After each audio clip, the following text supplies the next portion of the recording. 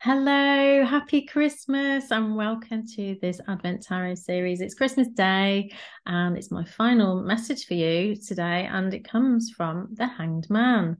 So, as you can see, the Hanged Man, he is this young man, and he's hanging upside down from what's thought to be the tree of life or the tree of knowledge by one foot. So, the story goes that he has hung himself there in order to see things from a different perspective. And by waiting or being in this place of pause and seeing things from from another angle, he gets he reaches enlightenment, which is thought which is what the halo is around his head. So the hanged man, he can represent spiritual initiation.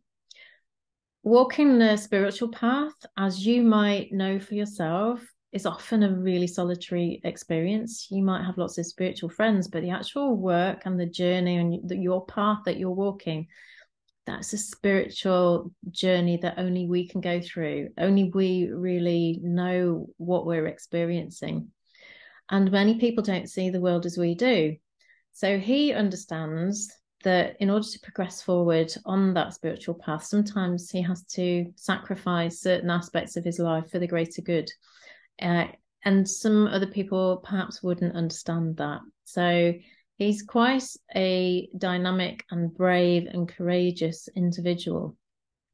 But he does know that through waiting, through sacrifice, through surrendering the ego, and by releasing old ways of thinking and being that don't serve him, he's going to be able to see the world from a, a, new perspective. And that's going to help him to see a lot more opportunities that he wasn't able to see beforehand. So this is about personal enlightenment. The hanged man might also be a message that you're feeling trapped in some way or restricted or you can't move ahead or that you're putting something off. Something is being postponed. Something's being suspended some kind of action that you need to do you're not getting around to doing. So this suspension of action might be something to might be something that is being done voluntarily or it might be done involuntarily.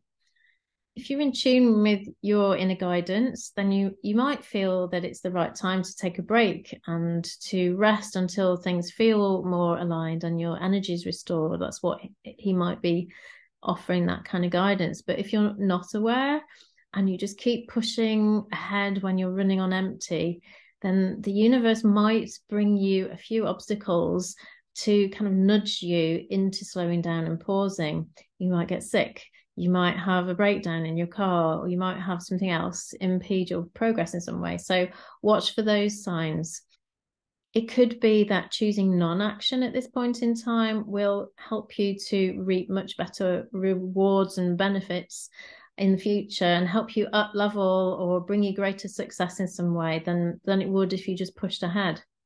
So create space fill your time with something more nourishing while you're waiting for something new to emerge or an opportunity to come to you and then respond when the timing's right. So there's no hurry with this card. It's like permission to take a break take permission to pause uh, and to allow things to line up so, to discover if the hangman's message is for you, just tune into yourself and ask how it would feel to pause and rest. You know, imagine what that might be like and feel how your body responds because you will get an answer there. This is such a busy time of the year with so many pressures.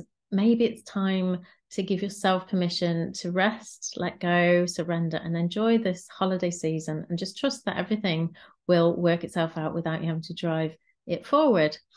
So, with that message to pause and rest and take time to recharge, I wish you a very, very peaceful, nourishing, restful, and restorative time over Christmas.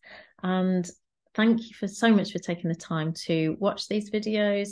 If tarot has been new to you, then I hope that you've enjoyed learning a little bit about this fabulous system for self discovery.